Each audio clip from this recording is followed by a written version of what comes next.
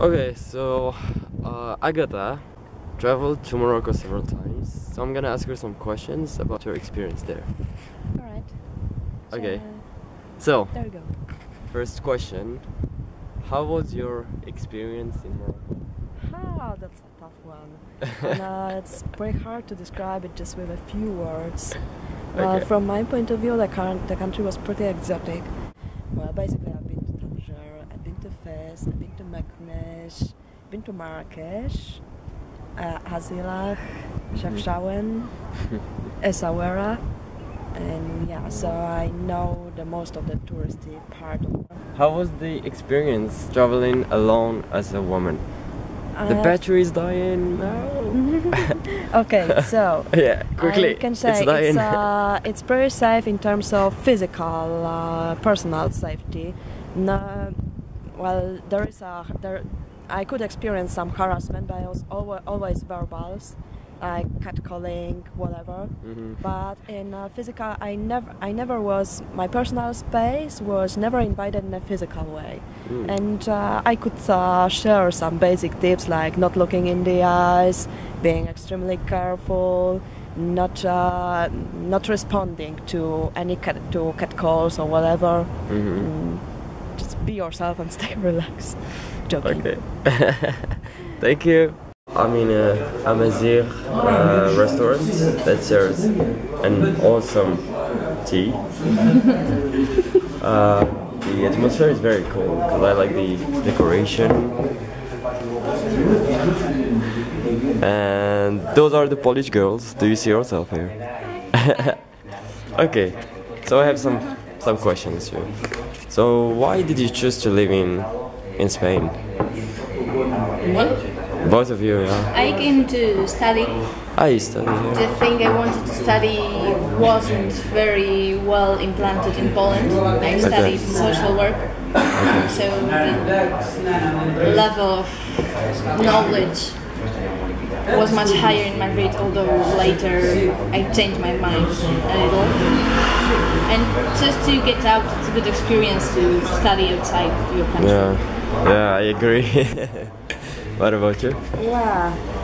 I have been traveling a lot to Spain before I made uh, I made up my mind for of living.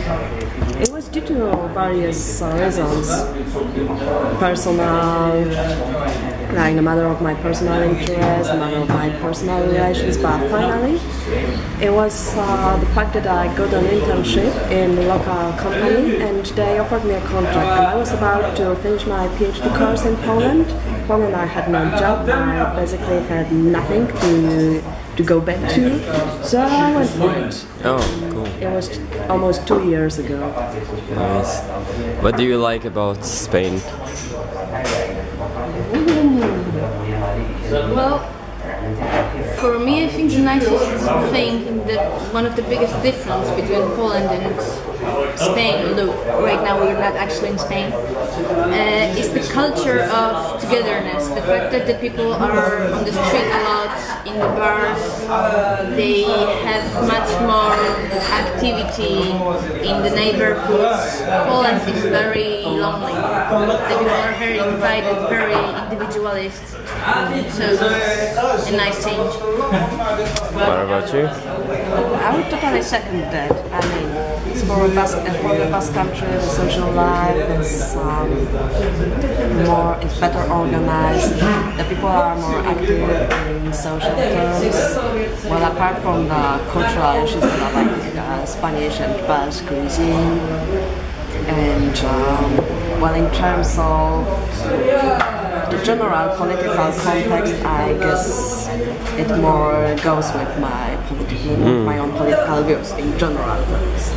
Okay. If I, well, if we are speaking about political climate, which, you know, I now, now I'm now I have more personal ties to Bilbao. I made some friends here. I got my I got my favorite places like the one we are we are in restaurant now. Okay, another question. What do you miss most about Poland? Food. Food. Yeah, there are things you can't get here. And the, the taste of home.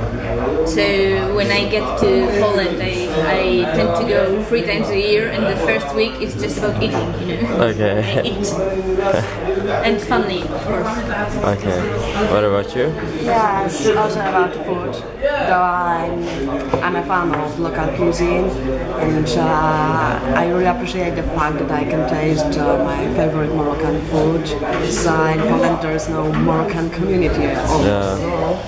But there are some dishes or some stuff you cannot get Yeah, here. like the Polish bread, mm-hmm. it's incomparable. It's a whole other thing. Mm-hmm. and I missed my social, my friends and social interactions. Like you know, the fact that you can use the same cultural code, that you can make joke that people will understand. I miss communicating in my mother tongue mm. because I most of the time I do communicate in Spanish. That's my third language, and sometimes communicate in English. That's my second language. But you know, it's not really the same thing.